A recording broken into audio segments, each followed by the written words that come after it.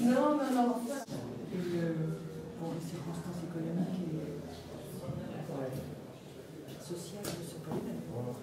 Mais ceci dit, si a, a Parigi nel tredicesimo, non so se la sentite parlare di questa settimana italiana da che esiste. Poi la, No, la settimana che si da poco eh, da poco sono responsabile di questo. Certo. Ecco e poi faccio una settimana francese a Roma, faccio ah, davanti a Roma. Sono venuta perché non i problemi amministrativi ricordo.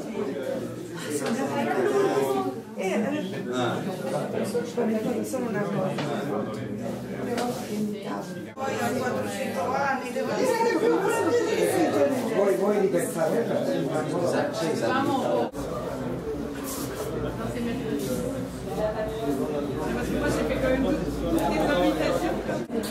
moi, j'ai eu, les- les- nos, nos amis pays euh, bon, on se joint à téléphone. Moi, C'est là, c'est ouvert. ah oui, en plus, oui. C'est un exercice. Non, avec les lacets comme ça, mais il me fait peur, il ça.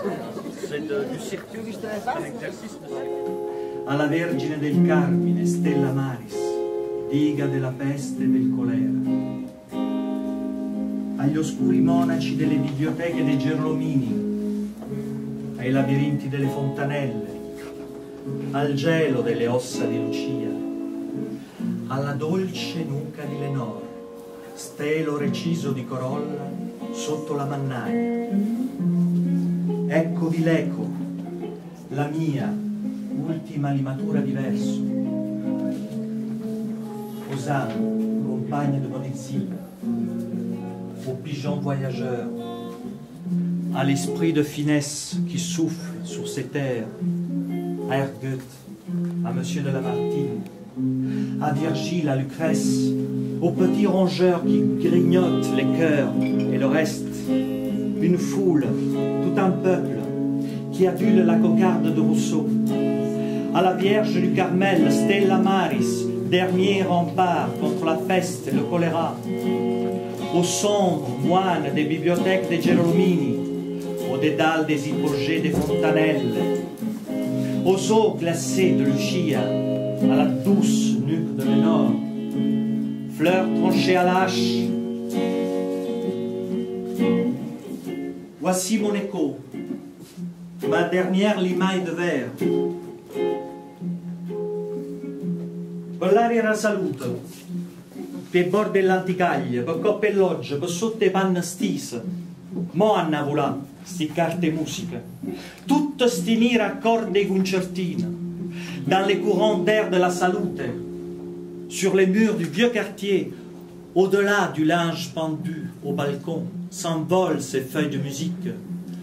Tous ces noirs accords d'opérette. Je me suis en faisant la planche. Et puis, soudain, un curieux phénomène. Le ciel bleu semblait s'être obscurci. Les traînées grisâtres le salissaient. Bientôt, ce fut une véritable nappe de fumée noire. Et de la surface de l'eau, je perçus cette odeur plutôt agréable, mélange de résineux brûlés et d'herbes aromatiques de la montagne. Agréable, mais inquiétante. La fumée se fit de plus en plus dense. Elle arrivait droit des pentes escarpées et plongeait vers la mer. Puis elle se trouva mêlée à des cendres, des brindilles noires, des fragments de feuilles carbonisées, des braises minuscules qui tombaient dans l'eau en grésillant. Je ne voyais plus qu'à quelques mètres autour de moi. C'était étrange. Je me mis à penser au Vésuve, aux dernières heures de Pompéi. Ce serait peut-être ainsi que les habitants de la région percevraient la prochaine éruption, à condition qu'ils soient suffisamment éloignés du volcan. Les bruits ne seraient pas les mêmes, et il ne faudrait pas s'attarder dans l'eau au cas où les remous sous-marins succéderaient à ceux de la terre ferme. Pendant un instant, je me sentis comme au cœur d'un immense désastre, et d'une certaine façon, c'en était un.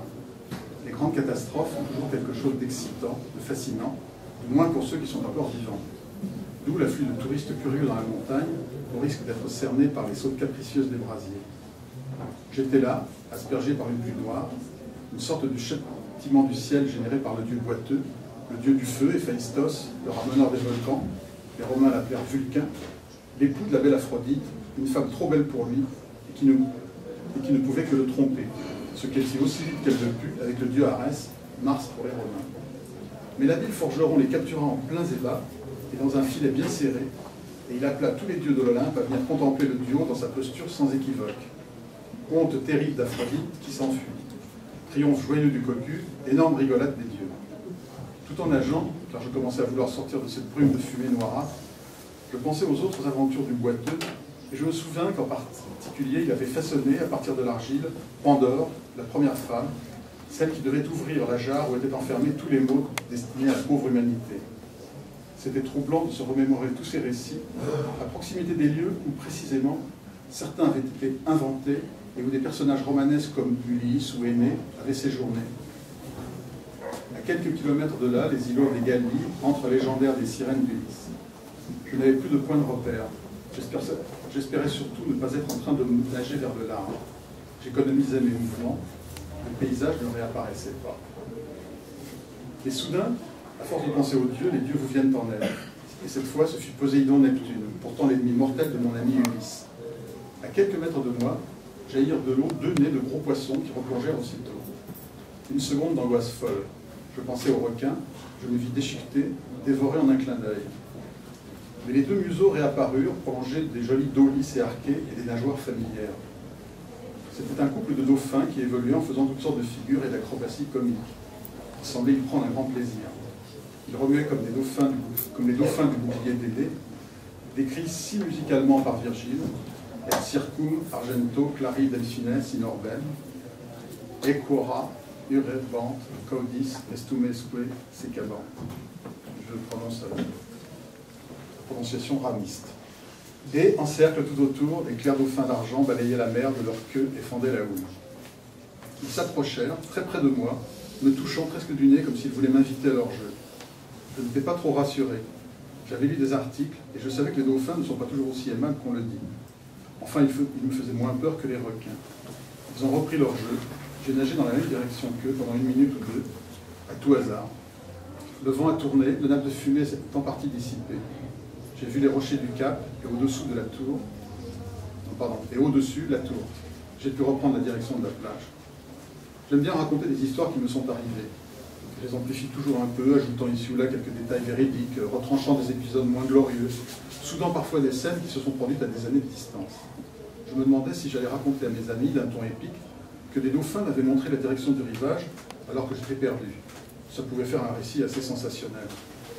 En reprenant, le pied, reprenant pied sur le fond sableux, à proximité de la plage, juste avant de rejoindre toute la bande, j'ai décidé de n'en rien faire. D'ailleurs, il n'aurait peut-être pas cru que j'avais vraiment rencontré des dauphins.